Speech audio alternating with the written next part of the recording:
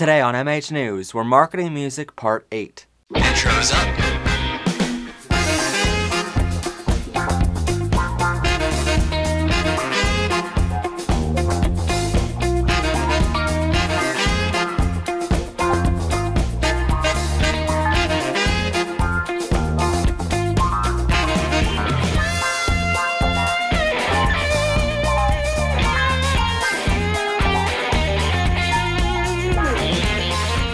Ready, camera one, three, two, one. Welcome to MH News VLAMP, video, lighting, audio, music, and photography, everyone. I'm your host, Matt Haslam. This is part 8 in our 11 part series on marketing music. If you have not seen the previous episodes in this series yet, please go back and watch those first before continuing, as we're going to build on information as we continue in this series. Step 8 Set your own stage. There are two parts to setting your own stage. The first is where, and the second is how. Remember we mentioned church halls, gymnasiums, and theaters? Well, when you think about performing somewhere, you probably didn't think about these places. Truth is, for the first year after you pick up your guitar and learn, you might have to perform in a couple smaller venues just to get some experience. But if you want to be serious in the music world, sometimes setting your own stage at different types of places is necessary after that first year.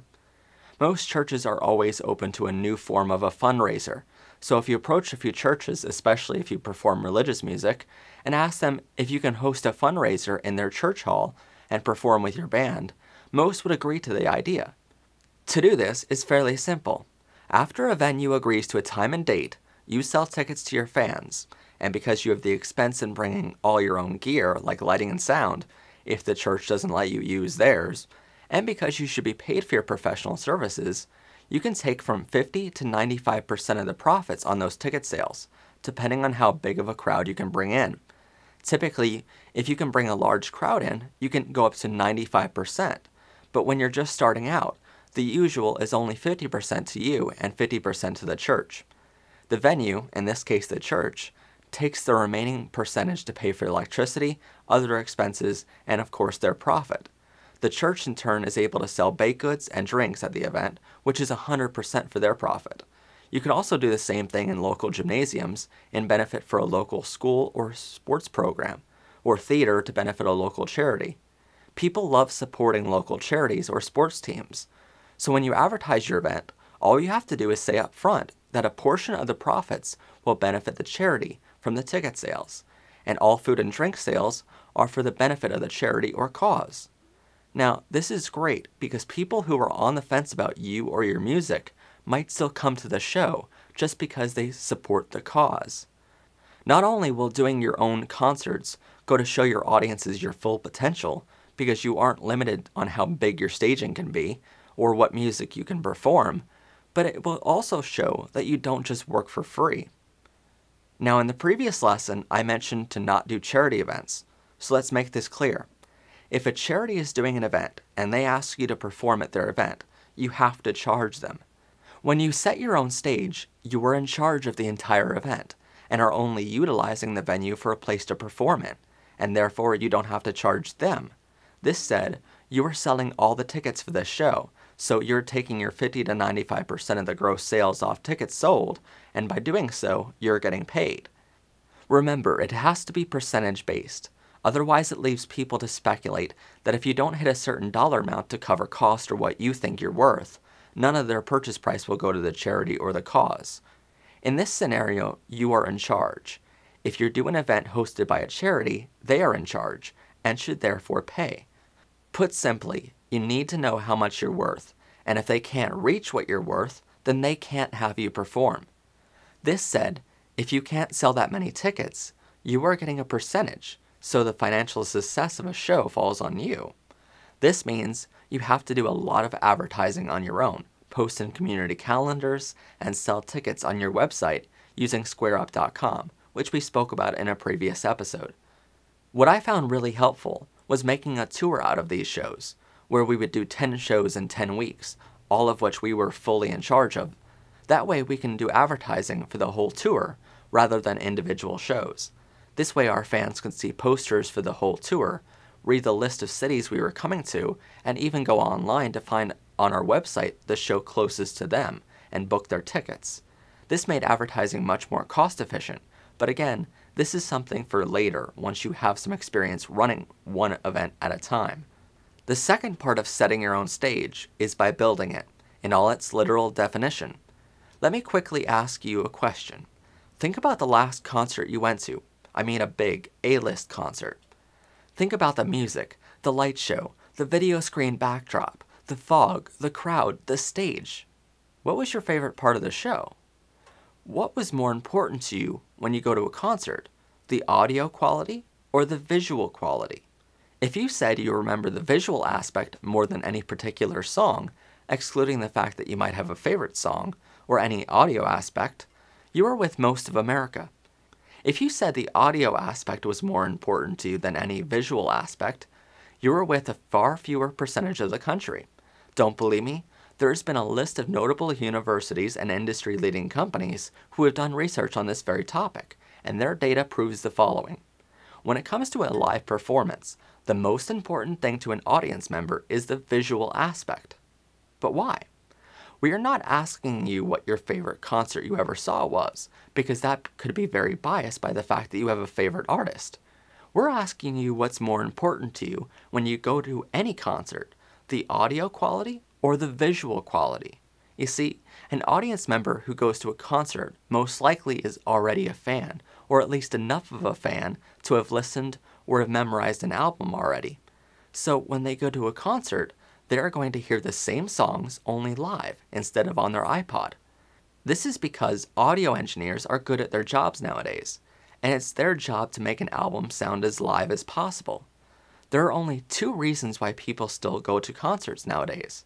One is because they want to see their favorite artist in person. The second is the atmosphere, meaning the lighting show, the staging, and the crowd. When it comes to these large artists, why do you think they spend millions more on building custom stages and light shows and leave audio be as simple as possible? What I mean by this is that the audio is mixed by a live audio engineer live during the show, no matter how big or small the event. The stage has been planned out in 3D software and custom built, costing hundreds of thousands of dollars. The light show has been planned out and is programmed by offices full of designers with highly advanced 3D and DMX software for possibly months. Meanwhile, the audio doesn't have to be mixed until the night of the show, live. Artists wouldn't spend this much time and money on the visual aspect and not an equal amount on the audio if it wasn't so important to the audience member's perception of the show that the light show be better quality than the sound. So, why is all this important to us, seeing that we're not A list artists? Keeping aside for a second that we should try our best to model after these artists who have made it to the stages we want to be on, really, why is this important to us?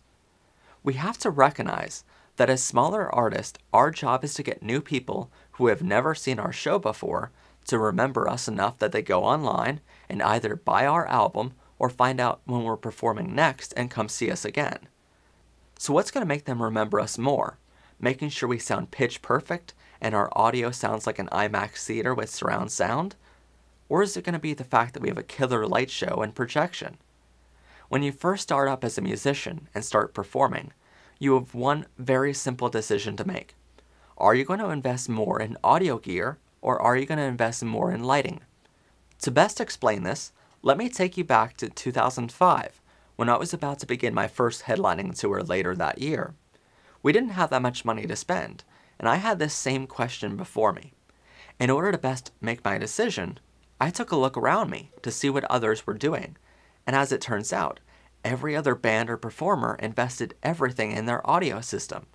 In fact, out of the hundreds of performers in my county, only one had any lights at all, but they left them on the entire show, so they turned them on before going on stage, and turn them off when the show is over. This means they don't turn off at the end of a song, and they don't strobe when there's a loud drum beat. Nothing. A handful of other performers had a halfway decent audio system with good engineers running them, but as for the hundreds of other performers, they either tried converting their old home stereo system to a live stage sound system and it failed miserably, or they relied on the venue who hardly ever has good audio gear. So I asked myself, how can I set myself apart from this oversaturation? And all I had to do was make the right decision for my performing career. I had to pick the same direction any of the results from the countless hours of research these universities and companies were telling me, and the same direction no one else even tried before visuals. The first thing I did was I hooked up a $20 Radio Shack microphone to a guitar amplifier and my guitar to another amplifier. That was my first audio system. The rest of my budget went to lighting, which let us, in less than a year before my first tour began, have more lighting equipment than any other band or performer in the area, and I was still in grade school. That first year, the music was far from perfected, and the audio, let's face it, left much to be improved. But the shows were a major success, with venues begging us to come back, and audiences loving the show and becoming lifelong fans. Later on, we invested in quality audio gear, which allowed us to start providing equipment services to other bands. But year after year, most of my budget went to lighting and the other visuals. Nowadays, you can find moving head spotlights, lots of LED par cans, and audience lights, which we use to light up the audience when they start singing along, lining our trussing, and a professional sound system, along with years of vocal lessons making sure we sound good, but nothing compares to the special effects. Over the years, I made one very simple promise to my fans, which I believe is a promise we all should make as professionals to our audiences. That is to give our fans the best show they will ever see in the area. In the years following that first headlining tour, some bands followed our lead, which I'll admit was kind of odd, seeing that I was a kid leading some veterans who just a year before thought I was too young to even be in the industry.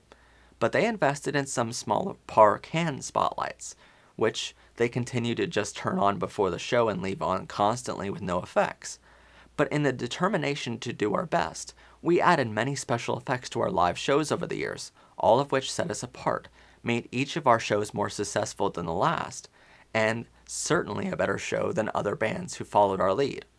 In 2006, we added a falling curtain to reveal the stage in the beginning of the show, and confetti guns to fire during the final song on a strong beat of the drum.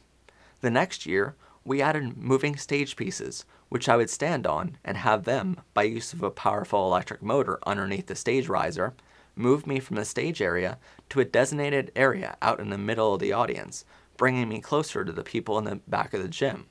Come 2008, we added pyrotechnics, and by 2009, we added a rain machine, which would shower down around 50 gallons of water in a rain fashion on top of me standing on stage. I don't say this to mention my accomplishments, but to make you realize that by concentrating on the visual aspect of the show, we were able to have larger and larger budgets every year and build our fan base the same. When it comes to setting your own stage, though, you have to keep in mind the reason why you're going after a much different venue than everyone else, and that is that you don't want to give yourself limitations. In a bar, you're typically limited to a stage area, if you're lucky, of 4 foot by 4 foot. If you go after places that have gymnasiums, suddenly you can have a staging area like ours in 2009, totaling 30 foot wide, 20 foot deep, and 30 foot high, with a separate control area in the back of 10 foot by 10 foot by 20 foot high. That, my friends, is how you set yourself apart. Be so big that you cannot physically fit in places that aren't willing to give you your fair wage. One important thing to remember when you're building your concert is your set. Over the years, we found two different ways to build an amazing set. The first is a physical set you bring with you everywhere you go, and the second is a digital one you create through projection. See, when you plan your stage or set, you should remember to keep your setup as simple as possible while keeping your possibilities as large as possible. How we do this for the best price is through projection.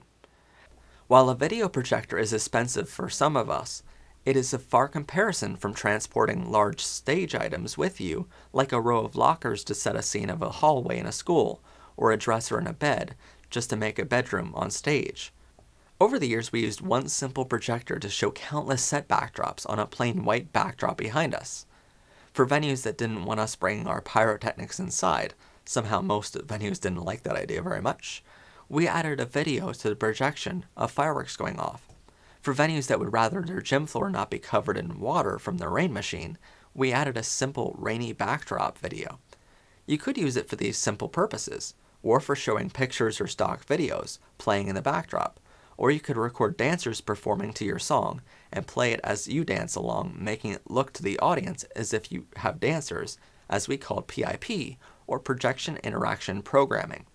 You could also project live video feeds on side projector screens, as we started doing in 2007, to have fans in the back see the show just as if they were in the front. Again, I'm not saying you have to go out there and buy lots of lights or a projector your first year out, but if and when you decide to invest in equipment, try investing in the visuals more than the audio gear, and maybe some of these examples give you some ideas for your next show. Believe me, your audience and your wallet will thank you because making your show more appealing to audiences is elevating your brand, which means you can charge more and look more professional to your venues. If you don't have the amazing crew and the budgets we did, which allowed us to build these things for our stage over the years, maybe try adding a palm tree and some beach chairs the next time you perform a concert with an island theme, or play some sounds of an ocean wave coming in through the sound system during your concert at a lower volume than the music to give the atmosphere that your audience is really there at the beach. The next time you do a Christmas event, bring a full size Christmas tree with you and decorate the whole stage. Maybe add some tinsel to your trussing and keep it far enough away from your lights to not catch on fire. Try coming up with ideas for your show and ask your friends or collaborators for some ideas as well. Another great tip when you do live performances is to tell your audiences near the beginning of the show that you welcome them to take pictures and video of the show. Lots of performers don't want fans to take video or photos of the show, but you have to realize the reach of social media and welcome it in your show.